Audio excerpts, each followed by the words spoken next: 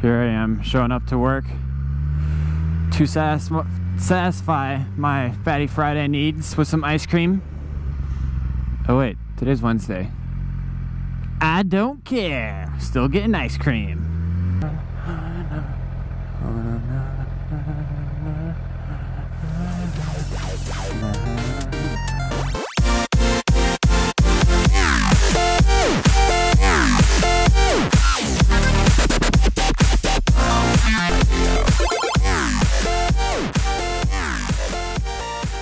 Okay, so here I am once again trying to jumpstart my bike because my lights killed the battery.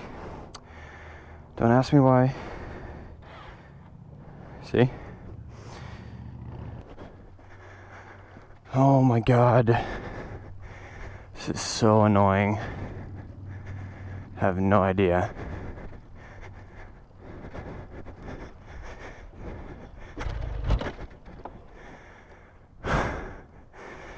Back up.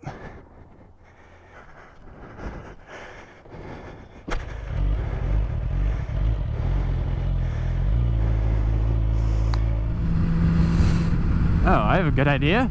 HID kits! Yes!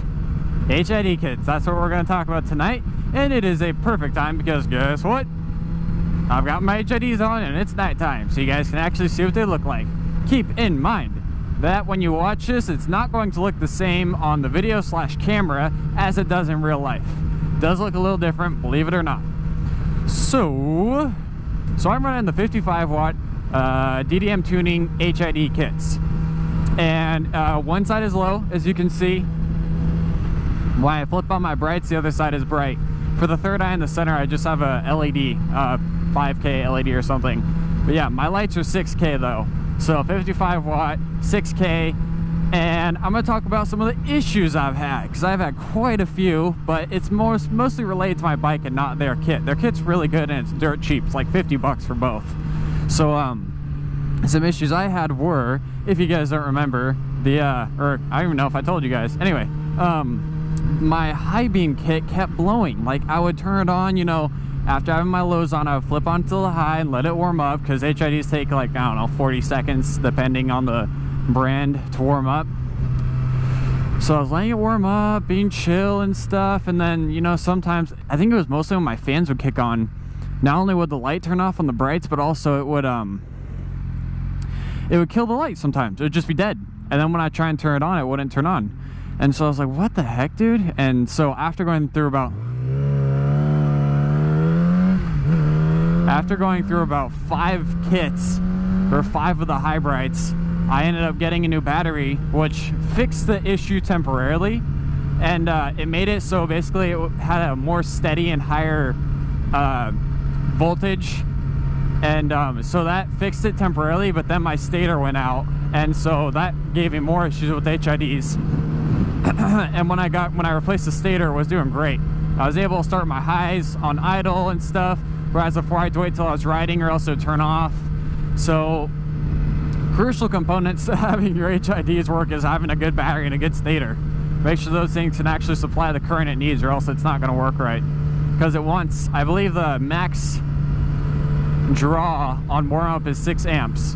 And then they, uh, once they're warm, they idle at, uh, let's see, it's like 4.3 amps or something like that, the 55 watt kit. Then standard 55 watt halogens are like 4.6 or 4.7 amps. So actually once they're warm, they draw less current. Another necessity, depending on your bike slash car, is you need to get a wiring harness. DDM Tuning sells one if you get them off DDM Tuning, and I'll have a link in the description for you guys. But um, a wiring harness basically makes it so that your lights don't have to receive their power through the um, through the stock wiring harness because then it's going to have to power your tail light, your blinkers, you know, dash and stuff, and all that stuff, and uh, along with your lights. So that makes it so the current isn't as clean or your wiring harness can't handle that much current, which will cause issues with your HID kit. So for that reason, they sell a wiring harness which you can get, and uh, here we'll turn on the brights now. They have a wiring harness that you can get, and that basically routes your headlights directly to your battery. And it's a very beefy wiring harness. You don't want to get the cheap ones off eBay because uh, they won't work. But yeah, it's like five bucks or ten bucks or something. DDM Tuning's wiring harness, and like I said, it runs the lights directly to the battery and uh, gives them clean current. And the wiring harness can obviously handle the current. It's recommended for all 55 watt kits, but not necessary for the 35 watt kit. You really don't have to have it for either kit, but it is recommended for sure for 55 watt kit. General rule of thumb is if you start having issues, throw in a wire, wiring harness and that should fix it usually. And uh, common symptoms of not having a wiring harness are flickering lights, like your lights flickering or the left one not starting up but the right one does, stuff like that. You know, just issues, things that bug you and don't things don't work right. So um so yeah, I, I mean if if you're in a car especially, it's easy to install a wiring harness. On a bike it's a little bit more difficult, so you can kind of wait to see if it's gonna work right. Like mine worked fine. As long as I start on low first and then switch to high, it works great. So I don't have any issues. But um, yeah, this is with the high beam on. You can see a lot more. I've got a smoked visor and I can see everything. It's really, really good.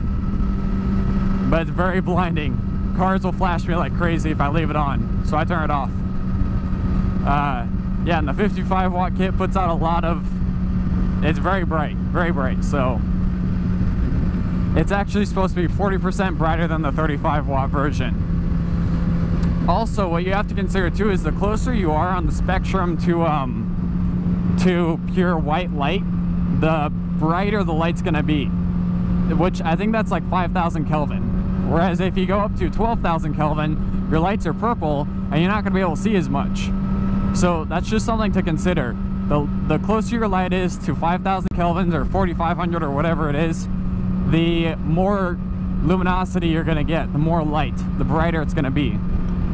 So, uh, and I got 6K because the 55 watt kit actually drains out your lights a little bit. So the 55 watt 6K looks a little bit more like a 35 watt 5K. 35 watt kit 6 or 8K is going to be more blue, especially 8K. 8K's got a lot of blue in it. So, and 8Ks look good. They're just not as much of pure white light. It's not as clean looking, I guess you could say. So a little bit later on, once get on an abandoned road, I'll flick, the, flick them on and get off the bike and show you guys what they really look like.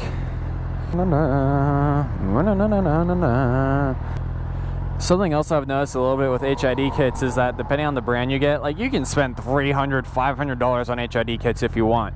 I don't know how much better they're going to be, but um, I believe it reduces the warm-up time and also it gives it a less, uh, more pure look. My, I think my lights are slightly green almost. Like if you look at them, it's like they're blue, but on the camera through my tinted visor they look almost slightly green.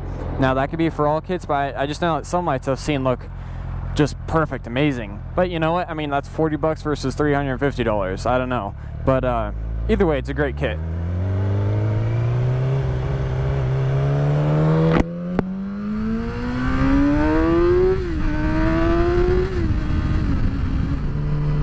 Oh yeah, another common question people have is, is a 55 watt kit gonna burn my uh, or melt my stock headlight housing? Chances are most likely not.